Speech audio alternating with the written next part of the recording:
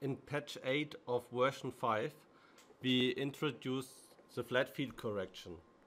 We are now able to correct the images for shading and for this you have to acquire shading reference images or background images.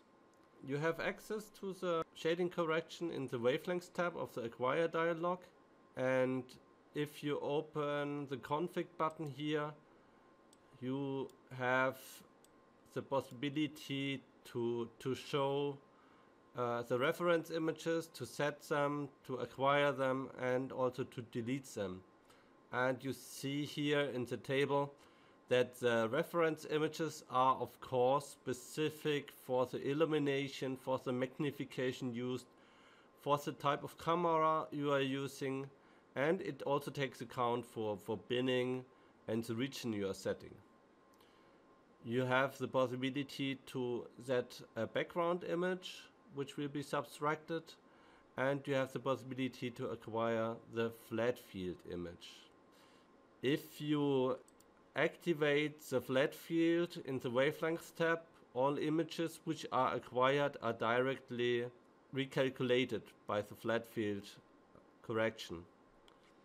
And if you don't want this direct real-time calculation, you can also acquire the images first and then use the post-processing to correct your images by, by the reference image.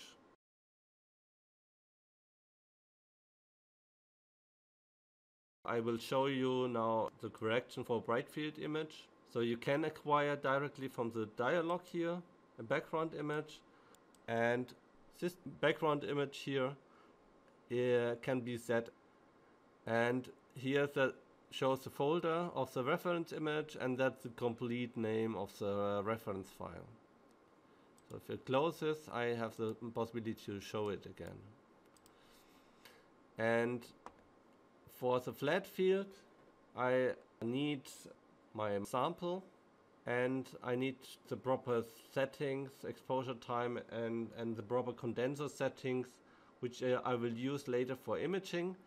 And then I can use also the show live you see first I I will be sure that I in the proper focus of my sample so sample is focused. And then I move to an area where no sample is visible. And then you directly see in my image here three components which disturb our, our image quality so one is a, a gradient here in the illumination, uh, which you maybe not have if you do proper Köhler setting of your condenser. Uh, second component is some some um, stationary dust particles here on, on some optics, which could be camera or any any other optics which is uh, focused so, and uh, the third component in my reference image are particles which are maybe on the sample and um, which would also disturb my, my, my reference image then. And for this I then can just use the set command here.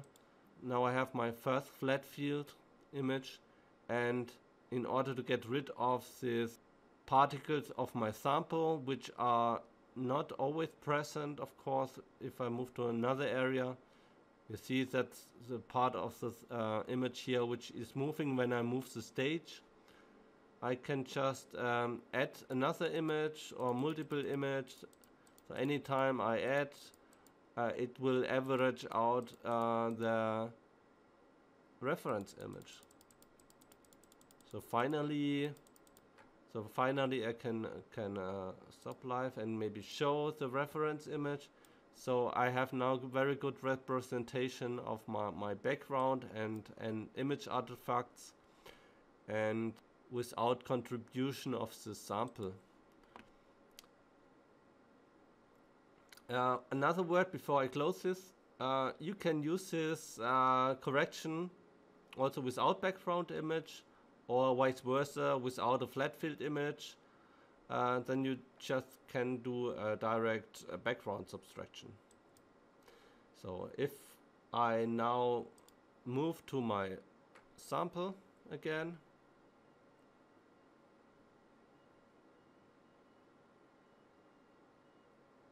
so we still see some some dust particles. The gradient gets a little bit better because of the high dynamics of my my sample. But uh, so in the right corner we still see the the dust particle.